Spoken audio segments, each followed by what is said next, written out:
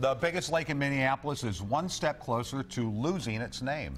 The park board is expected to vote any time now to approve changing the name of Lake Calhoun. The off and on conversation gained steam in 2015 after a mass shooting at an African American church in South Carolina.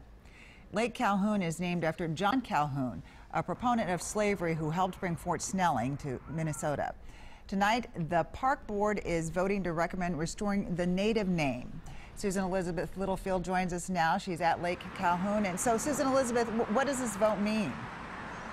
Well, the vote's supposed to happen any minute. I'm waiting to get a text here and find out what happens. But the thing is, it doesn't mean if it passes that all of a sudden Lake Calhoun won't be called Lake Calhoun. It would still have to go through several layers of government. But the supporters of this say that this would be a first step and a very important one.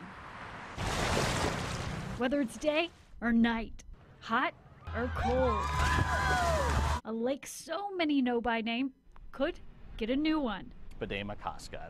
That was the native Dakota name Park Commissioner Brad Bourn is trying to get restored. Changing or restoring the restoring the indigenous name and, and removing removing that scar doesn't hurt anybody, and it makes multiple segments of our community come together. He says the name Calhoun represents slavery and does not represent Minneapolis. Former Park Superintendent Mary Merrill agrees.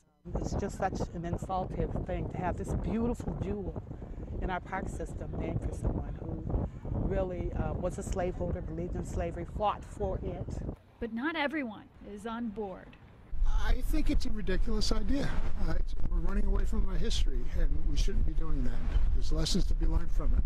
Some lakegoers say they didn't even know the John Calhoun connection, and a name change won't change society. I think it's just cosmetic attempts to make things better.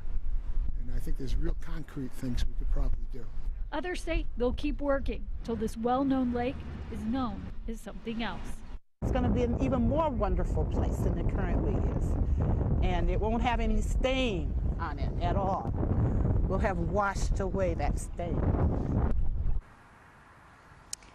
Now, I also spoke with a member of the Dakota Nation. They've been fighting this for years. They want the name Calhoun to completely go away, and they want the lake to just be known as Bde-Maka-Ska. That is the goal for them. Now, it's not easy, as you can tell, to change the name of a lake. Heather Brown is going to break down that process for you tonight at 10 on Good Question. Uh, Susan Elizabeth, I'm just getting some word now that the vote has just passed. The vote has passed. Yes. Well, it was expected to. So now we know that step has happened.